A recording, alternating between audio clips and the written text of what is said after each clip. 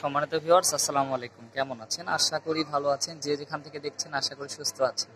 মূলত অনেক দিন ধরে অনেকে আমাকে প্রশ্ন করতেছিলেন যে ইনডোর এবং আউটডোর সেটআপের বিষয়ে কীভাবে ইনডোরে করলে কি মাছ বাঁচবে কিংবা আউটডোরে করলে ভালো হবে? মানে এক কথাই ইনডোরে ভালো না আউটডোরে ভালো? মূলত দেখেন, আমি আমার প্রজেক্টে কিছু একটু ঘুরে দেখাই আপনাদেরকে। দেখেন, এই যে এটা হচ্ছে আমার আউটডোর সেটআপ এবং আমার ইনডোর সেটআপ দুটাই করা আছে। আমি দুইটাতেই ট্রাই করছি। কোনটা ভালো? এবার আপনাদেরকে আমি ঘুরে দেখাবো যে কোন সেটআপটা আমার আসলে ভালো হচ্ছে, কোনটাতে মাছ ভালো হচ্ছে। তো চলুন, কথা না বাড়িয়ে শুরু করা যাক।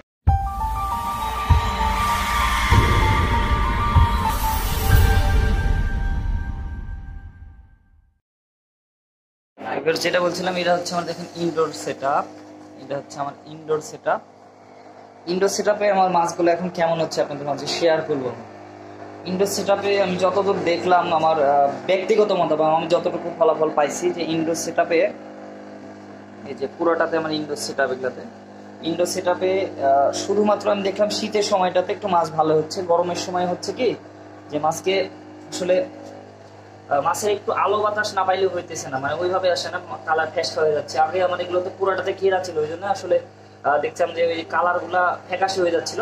তো দেখেন বর্তমানে মাসাল্লাহ অভিজ্ঞতার হয়েছে আমার কি করলে কি হবে, অভিজ্ঞতার ফলে দেখেন মাছের কালার কোয়ালিটি অনেক সুন্দর আসছে যে ড্রাই কালার গোল্ড ফিশ হবে অনেক সুন্দর কালার কোয়ালিটি আসছে। আমি যেটা দেখলাম যে এখান থেকে ইনডোরে যদি করতে চাই আমরা, এই যে আমার অ্যাঞ্জেল ইনডোরে যদি আমি করতে চাই, তাহলে কি করতে হবে যে হালকা যেন একেবারে যে ফুল রোদ লাগে, প্রত্যেকটা মাছের প্রজেক্টে যে ফুল রোদ লাগে, আসলে ফুল রোদের কোনো বিষয় না। হালকায় যে দেখেন, এখানে হালকা আলো বাতাস আসতেছে।